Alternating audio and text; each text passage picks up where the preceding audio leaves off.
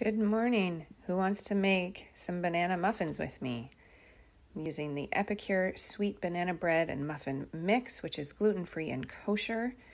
Mashing up two ripe bananas.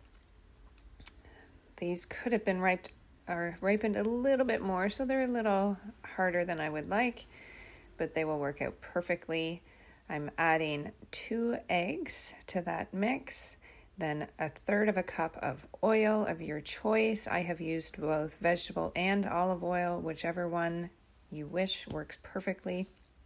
Then you put in the package, which again is gluten free.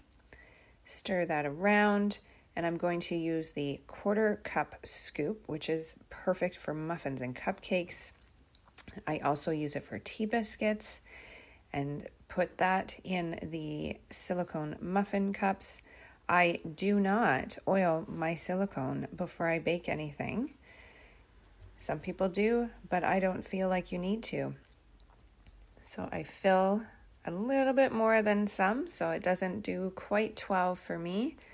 And this is what they look like after. Delicious. The key to the silicone is to let them cool completely in the silicone before removing so they don't stick. And now I'm going to enjoy some amazing